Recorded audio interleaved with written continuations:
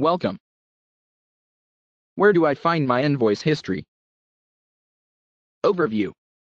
You can find the invoice history for your account on the Zoom web portal. You will need to be an account owner, admin, or another role with billing permissions.